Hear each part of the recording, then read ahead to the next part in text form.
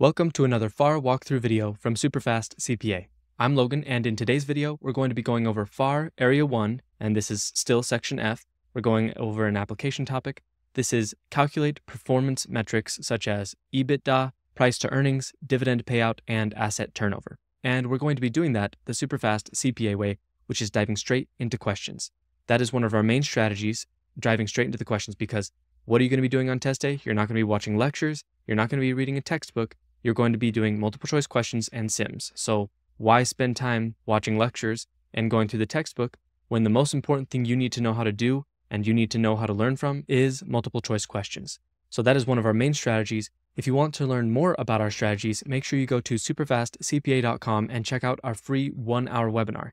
We go over the key ingredients to passing the CPA exam, again, including that going to the questions first idea, and we will show you how to be effective and efficient with your studying so you don't waste any time. Make sure you go check that out. The link will be in the description. Also, just letting you know, we will only be going over five questions in today's video, whereas Superfast CPA Pro members will have access to the full 10 question videos when we post them in the members forum. So if you like this, you can get more of it by becoming a Superfast CPA Pro member. With all that said, let's dive straight into the questions. All right, here we are at question one. And something we always like to point out with these questions, especially calculation questions, is to read the last part of the question first so that you know what you're looking for and it will give you context as you're reading through the rest of the question. So, first, based on this income statement, what is company Y's EBITDA for the year? So, we know we're focusing on EBITDA here. Below is an excerpt from company Y's income statement for the year revenue of 3.2 million, cost of goods sold 1.2 million, operating expenses 900,000, depreciation expense 80,000, uh, amortization 20,000, interest expense 60,000, income tax expense 260,000, net income 780,000, dividends paid $150,000. So, with all this information from the income statement, we have to figure out EBITDA. If you know what that is, and if you know what that stands for, it's pretty easy. You'll be able to figure this out quickly. If you do know how to do it, pause the video, do the calculation just to make sure you do know how to do it. If you don't know what EBITDA is or really how to calculate that, that's okay. That's the point of doing the questions is you go straight to learning how to do it in the format that you're going to be doing it on test day. So let's go ahead and look at the answer to learn how to calculate EBITDA. All right, here we are. The answer is D, $1.2 million.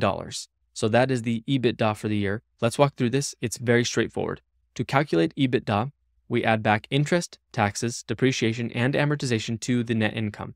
So we take, again, net income plus interest expense plus income tax expense plus depreciation plus amortization. And all those added up together in this case is $1,200,000 but we haven't said what EBITDA stands for. EBITDA stands for earnings before interest, taxes, depreciation, and amortization. So it's right there in the acronym, in the name. It tells you exactly what you need. You need the earnings before you take into account interest, taxes, depreciation, and amortization. So it's a very easy calculation.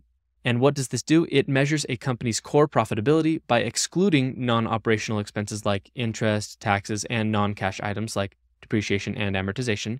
Why would they do this? It helps assess operational performance without the impact of financing and accounting decisions. So, as far as just making money, not taking into account how you are doing the accounting for certain things, because that will vary across different firms, or how you're doing different financing, take that out of the equation and specifically look at how are we making money compared to other companies? How are we performing compared to them? This makes it a little bit easier to see that and to tell that. That's one way you can calculate EBITDA. Let's go to the next question. All right, here we are at question two. What is the price to earnings or the PE ratio for Blue River Corp? Okay, this is a new ratio, a new performance metric. Blue River Corp's stock is currently trading at $80 per share. The company reported a net income of 1,600,000 for the year with 400,000 shares outstanding. Okay, so not too much information given here and we need to figure out what the PE ratio is. Again, this is the price earnings ratio. If you know how to do this, go ahead, pause the video, do the calculation. If you don't remember what goes into this, that's okay. Again, we're using the questions to learn how to do this. So let's go ahead and go to the answer to learn how to do it. All right, here we are. The answer is C, 20. That is the price earnings or price to earnings ratio here. So let's go over how to do this. This one is a little bit more involved than some of the other ratios we've gone through. This one does require or may require you to do two different calculations. So, first off, for the PE ratio, you need to know the stock price and you need to know the earnings per share or the EPS. you may not be given the EPS right away. You may have to calculate that. So that's one of the things that you're going to need to know how to do. So we have to divide the current stock price by the EPS. Remember, EPS is net income divided by the shares outstanding.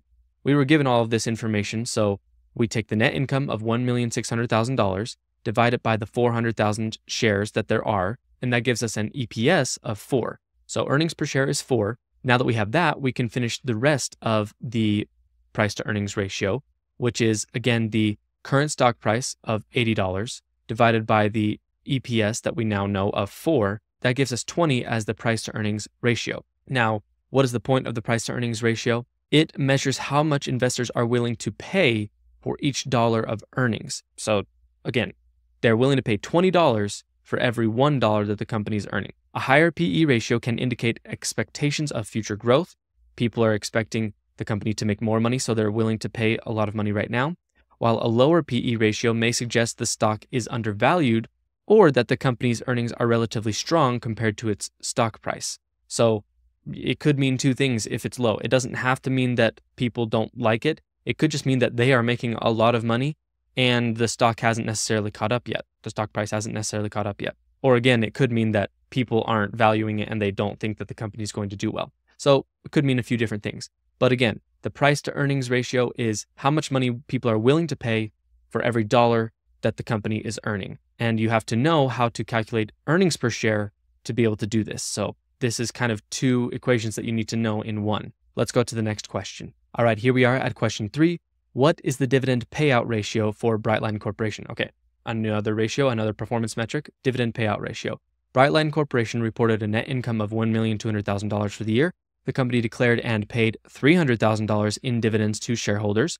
Brightline Corporation has 500,000 shares outstanding. Okay, again, not too much information given to us. The dividend payout ratio, just by the name of that, you could probably guess how to do this. If you know how to do it, pause the video and do the calculation. If not, again, we're going to dive straight into the answer to learn how to do it. All right, here we are. The answer is B, 25%. That is the dividend payout ratio in this case. And it's a very easy calculation, especially if you have the stuff for it. And usually you'll be given this stuff. Dividends paid, divide, dividends paid divided by net income. And of course, you can multiply it by 100 to get the percentage instead of the decimal, but it's just dividends paid divided by the net income. You just take this $300,000 of dividends. We were given that. You take the net income of $1,200,000. We were given that. And we can divide the dividends by the net income. And that gives us 0.25 or 25%.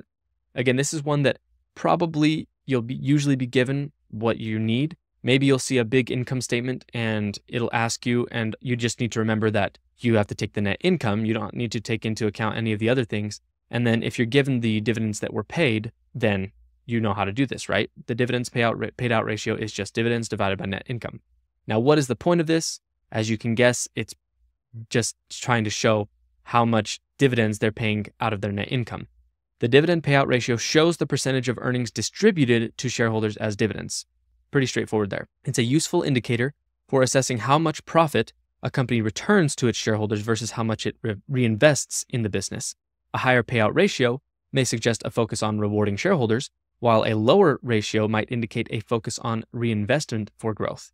So it doesn't necessarily have to be a bad thing if the dividend payout ratio is high or low. It just shows you what the company is focusing on. If the dividend payout ratio is low, that means they're focusing most likely more on reinvesting in the business and trying to get it to grow. Whereas if they have a high dividend payout ratio, that could mean that they are trying to incentivize to reward people for investing in the company. So again, it doesn't necessarily have to mean a bad thing one way or the other, but it will show you how they're using their earnings. Either they're paying out a lot to the shareholders or they're using it to hopefully make the company better. Let's go to the next question. All right, here we are at question four. Again, as always, read the last part. What is Maplewood Furniture's asset turnover ratio for the for the year? Okay, so asset turnover ratio. This is something another ratio. This is the fourth one on the blueprint that's mentioned. So let's go ahead and go up here. Here's an excerpt from their income statement. They had revenue of $5,400,000 cost of goods sold three million two hundred thousand dollars, operating expenses one million dollars, interest expense three hundred thousand dollars, income tax expense one hundred thousand dollars, net income eight hundred thousand dollars. So lots of information there. And then finally, they had total assets at the end of the previous year of $2,500,000 and at the end of the current year of $2,700,000. So now with all that information, and we've been thinking about it the whole time as we've been reading through, right? What is the asset turnover ratio? Now, just with that, and I've talked about this in a previous video if you've watched any of our previous videos, the asset turnover ratio probably has to do with the assets. That's why these are given.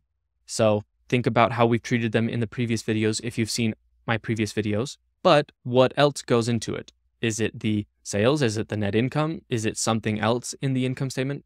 If you don't know, that's okay. If you do remember how to do this though, make sure you pause the video and do the calculation to see if you do remember and to refresh yourself. If you don't know how to do it, that's okay. We're going to go straight to the answer. All right, here we are. The answer is C. 2.08 is the asset turnover ratio. So let's walk through this.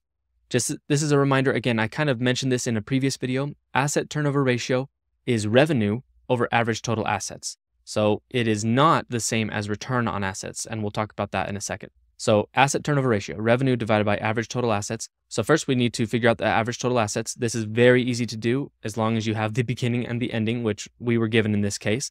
The end of the previous year total assets, which is technically the beginning of the current year total assets, is 2,500,000, and the end of the current year total assets is 2,700,000. To get the average, you know how to do this. You're an accountant. You add them together, divide them by 2, and that gives you the average of $2,600,000 for the year. That's the average total assets. Now we can take the sales or the revenue and divide it by the average total assets. So that's $5,400,000 of the revenue that was mentioned in the income statement above, divided by this average total assets that we just calculated. And it gives us 2.076, but rounded, that would be 2.08. So that is the asset turnover ratio, 2.08. Now, what is the point of the asset turnover ratio? It shows how efficiently the company uses its assets to generate sales. So this is different than return on assets. Return on assets is seeing how effectively people use assets or companies use assets to generate net income. So earnings, like after all the expenses, to generate profit. Whereas the asset turnover ratio is specifically focused on revenue. How well are they using their assets to generate revenue, sales? So it's not taking into account any of the expenses. It's maybe it would take into account some of the returns if that if you're looking at your net sales or your net revenue, but really it's just revenue divided by average total assets. It's different than return on assets, which is net income over average total assets. So remember that difference there. But that is how to calculate the asset turnover. Let's go to the next question. All right, here we are at question five. Based on the data above, what is Atlantic Co.'s EBITDA? So this is another question about EBITDA. Let's read through it. Atlantic Co. reported the following information for the year. Revenue $15,500,000, cost of goods sold $7,300,000, selling, general, and administrative expenses $3,500,000, depreciation $700,000, amortization $100,000. Okay, so this is different than the one we saw at the beginning of the video. At the beginning of the video, we were using net income and going backwards, but we're not given that in this case. It's very easy though if you remember what EBITDA is. So pause the video. I think you can do it at this point because again, we talked about it in the first question of the video. Do the calculation, come back when you're ready to see if you got it right. All right, here we are. The answer is B, $4,700,000. That is the EBITDA in this case. Again, we were not given net income, interest expense, income tax expense. So how are we supposed to do it? Well, if you remember, EBITDA is just earnings before interest, taxes, depreciation, and amortization. So even if you don't have depreciation, taxes, interest, or amortization, but you have all of the information before it, then you can still get EBITDA. It's just the revenue less the COGS less the selling, general, and administrative expenses, basically the expenses that are before depreciation, amortization, interest, and income tax. So we take the $15,500,000 of revenue less the $7,300,000 of COGS less the total $3,500,000 of the selling, general, and administrative expenses, and that gives us $4,700,000 of EBITDA because this is all the money before depreciation and amortization. These were mentioned here, but we're not adding them back because we don't even need to take them out in the first place because we know that we're not keeping that in this equation. So the EBITDA is $4,700,000.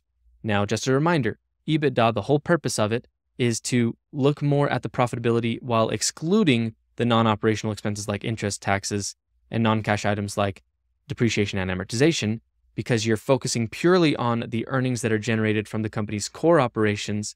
And that's a good way to be able to compare your performance to other people because the accounting decisions and the financing decisions might be different across companies, But if you can just focus on the earnings before those decisions, that can be a helpful performance metric to look at. Now, we've gone over a lot in just five questions. We went over the four ratios or the four performance metrics that are mentioned in the blueprint. Before we go any further, let's do one more part of the superfast CPA process called pillar topics. Now, the idea behind pillar topics is as you're going through the questions to learn the material, you will notice the things that keep popping up.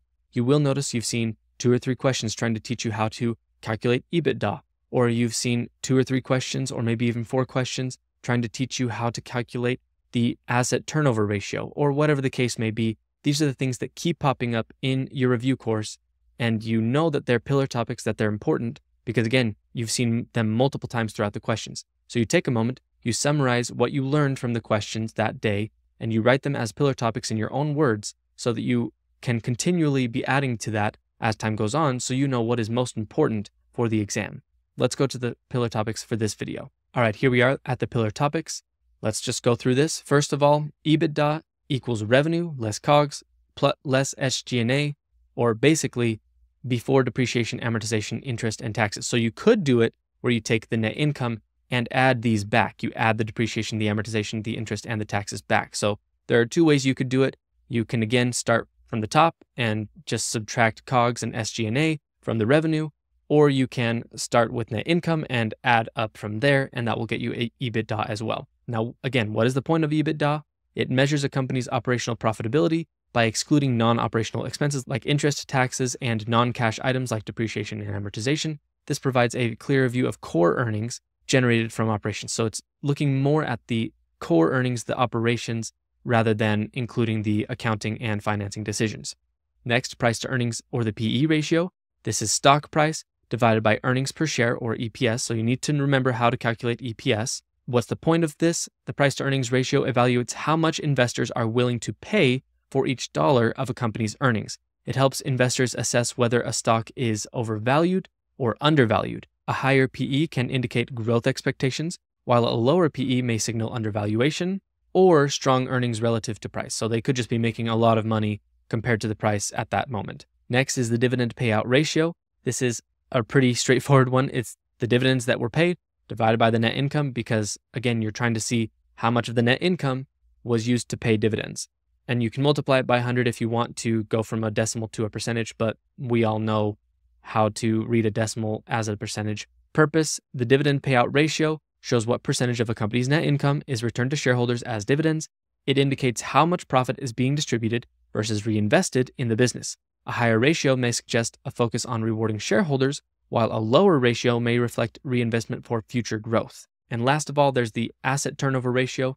This is revenue divided by average total assets. It's not the same as return on assets, which is similar, but that is net income divided by average total assets. So remember the difference there. The asset turnover ratio measures how efficiently a company uses its assets to, again, generate revenue specifically, not net income.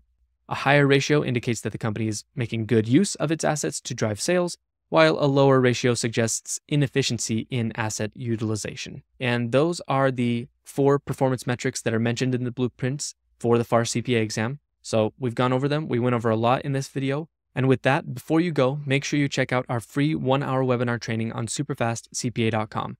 Again, we will teach you the key ingredients to passing the CPA exam. Among them is going through the multiple choice questions first, and also including daily review in your studying, making sure you go back and review what you have studied previously. Again, a lot of people don't do this.